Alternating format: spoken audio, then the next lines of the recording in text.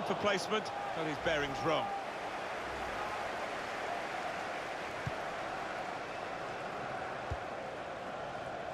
Pele. Excellent pass. No offside, he's in. And it's in. That is one of those special moments you don't often see.